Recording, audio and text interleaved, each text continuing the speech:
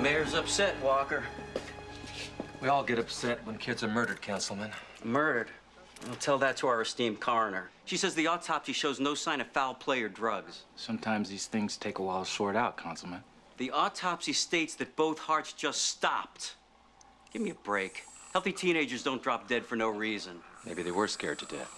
These rumors about killer ghosts already have the public worried. The press is gonna have a field day. Well, something or someone was out there. Now find him, Walker. Please. As long as there's unexplained questions about those deaths, construction at the site will be held up. It's gonna cost the city a fortune.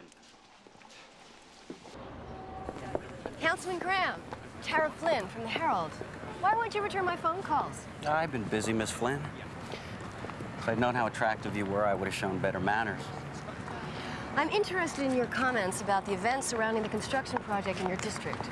Now, we have an ongoing investigation into the Amesmore killings. What is City Hall covering up, Councilman? I don't know anything about a cover-up. The night watchman said he saw Indian spirits attack the boys. it's a little bit far-fetched, don't you think? well, your architect said he saw ghosts as well. Kyle Jennings is a severely disturbed individual, as his attempted suicide would indicate.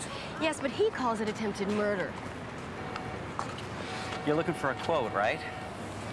Well, here it is. All this talk about supernatural phenomenon, it's nothing more than a smokescreen devised by opponents to progress and growth in the city. Can you name those opponents? All you need to know is that a worthless old building will be replaced by an office tower that's going to house hundreds, hundreds of city employees. Now, construction will continue, Miss Flynn, as scheduled. I think that's the end of our interview. Thank you.